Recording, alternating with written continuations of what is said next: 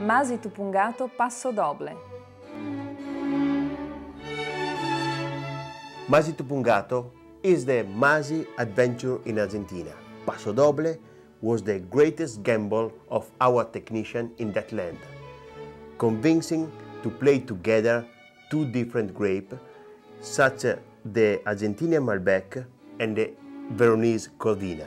70% of Malbec fresh, 30% of Corvina semi-dry, blend together in a double fermentation method. Is Argentinian nature with Venetian style.